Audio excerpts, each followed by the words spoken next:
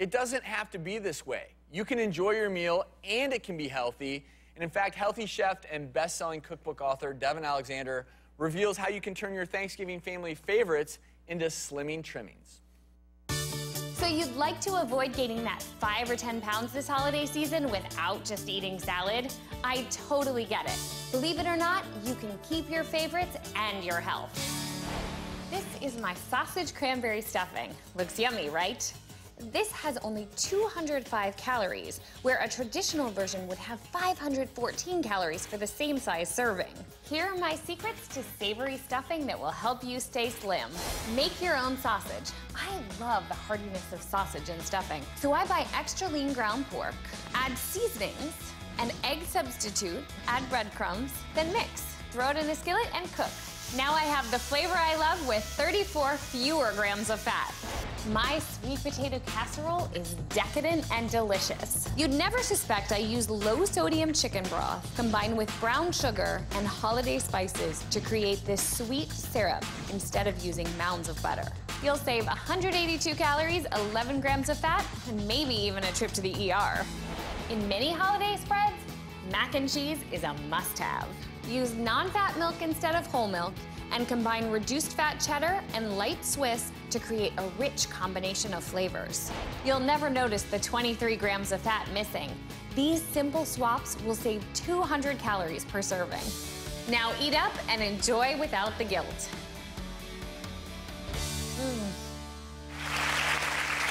Please give a warm welcome to Healthy Chef Devin Alexander.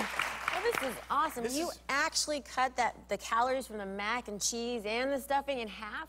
Yes. I focus on the flavors. A lot of people make this mistake. They take their family's favorite recipe and, mm. you know, they'll substitute like turkey for beef and do nothing else. And of course, you need to compensate for the flavor. You need to con- compensate for the moisture. But so I do all of that in these dishes, and that's why you really can't tell the difference. And here are three other quick tips to avoid overeating on Thanksgiving.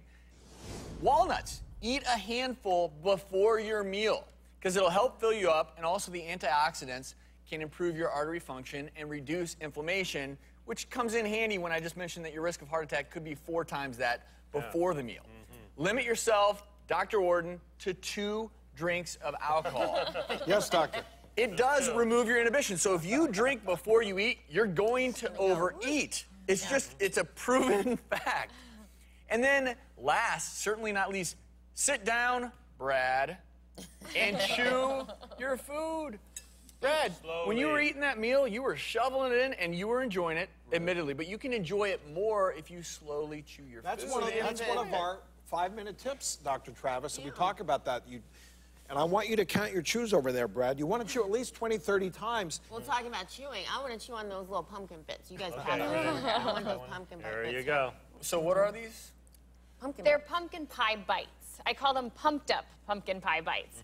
Uh, they have no artificial ingredients whatsoever, and they're sweetened with agave nectar and maple syrup. so they're not only almost fat free, um, but there's no sweetened condensed milk and corn syrup and all of those bad ingredients that you talk about all the time. Cool. Oh, that's tasty. Yeah, Tastes that's like- really good. And I'm not Wow. a big pumpkin pie fan. I'll get This one is more. Good. It's No joke. This is fabulous. Yeah. Really? This is better than regular pumpkin pie. Two of those bu- bites have only 94 calories and a trace of fat. Obviously, no saturated fat. Uh, this good. slice of pie has 450 calories, Wow. and God even knows how much fat. Yeah. So Are you all a little 300 jealous that I'm enjoying my pumpkin bite? It's really Yeah. good. Be jealous no Yeah. longer. Let's feed this audience. Can we bring some pumpkin bites out?